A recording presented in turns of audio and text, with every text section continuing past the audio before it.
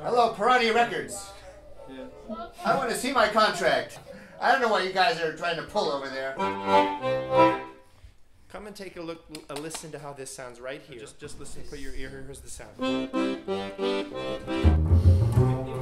Jeg får weg in die weite Welt mit Parnusse, wird mich Gott beglücken.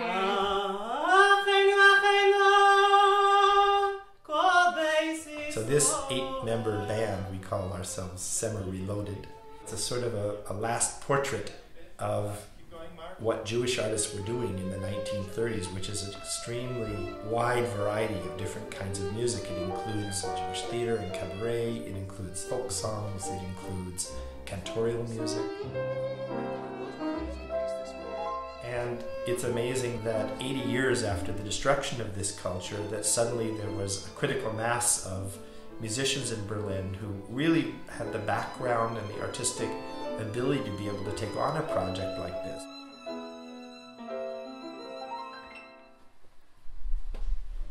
Are you going to ask an important question? For me, there's this like immense spirit of joy and exploration in the music, which makes me feel as if the music was from from today, from now, um, because that joy and exploration is is kind of what makes us tick, right?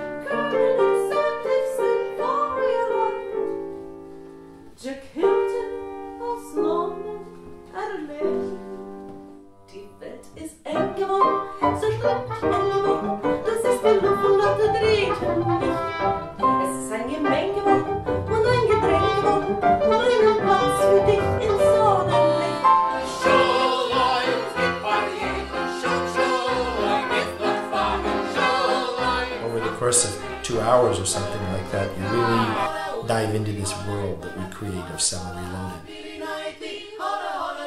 The music is recorded live, and out of this is going to come a CD, and then we're ready to take it on tour.